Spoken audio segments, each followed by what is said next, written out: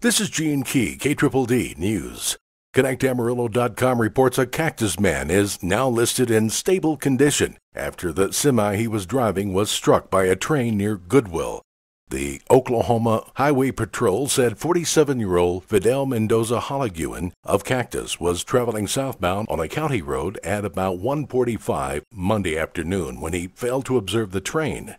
He was traveling on a road that was just north of the railroad tracks parallel to Highway 54.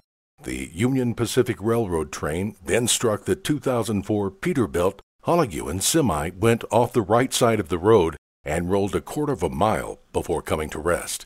Hologuin was first transported to Memorial Hospital of Texas County in Guymon before being transported to Amarillo. He was admitted with internal injuries.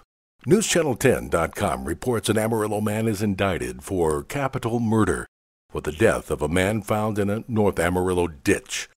The Randall County District Attorney's Office says Philip Schindler was indicted for the death of Clay Peterson in November. Schindler had previously been arrested for tampering with evidence after police say he moved Peterson's body from a home in Randall County to a ditch on Smelter Road. Peterson's cause of death, strangulation.